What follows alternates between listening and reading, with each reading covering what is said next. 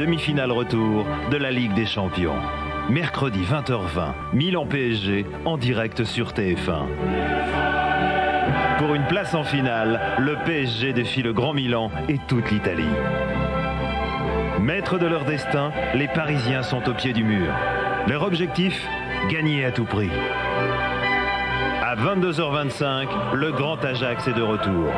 Dans son stade olympique, il attend le Bayern de pied ferme.